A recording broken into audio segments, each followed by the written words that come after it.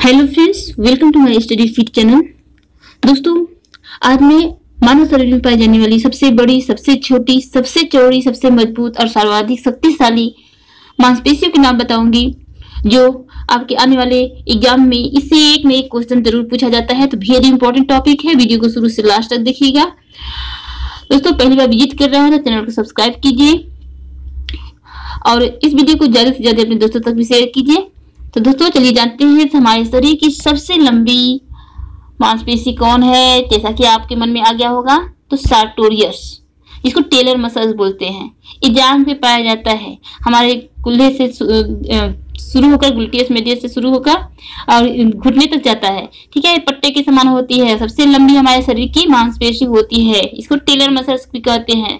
और नेक्स्ट है, दूसरा है सबसे छोटी मांसपेशी।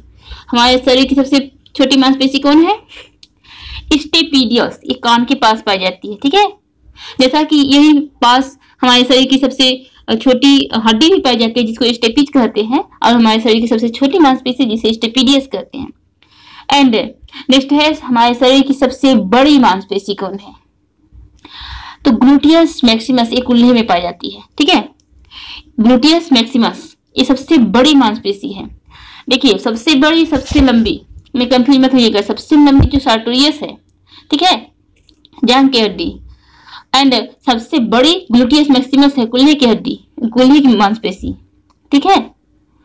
एंड सबसे चौड़ी जो है, हमारे शरीर की नेक्स्ट है, सबसे चौड़ी मांसपेशी कौन है? तो सबसे चौड़ी मांसपेशी लेटिमस डोर्सी जो हमारे पीठ पे होती है, कमर के ऊपर। ठीक है?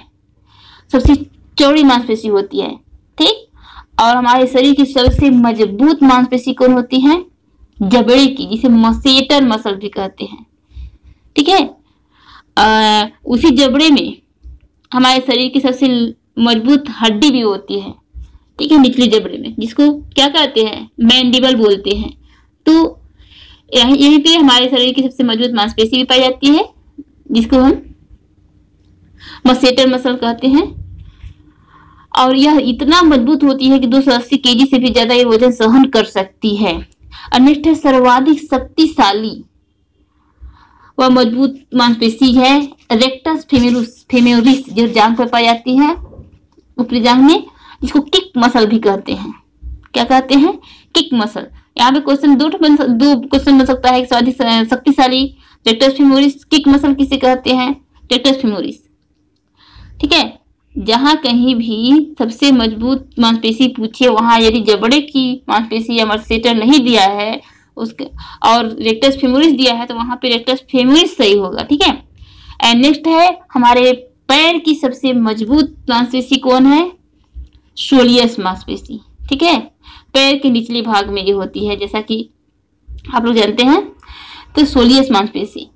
अगर कहीं उस क्वेश्चन बनाने के ऊपर डिपेंड करता है कि किस प्रकार का पूछेगा यदि जबड़ा नहीं दिया है तो सोलियस हो जाएगा।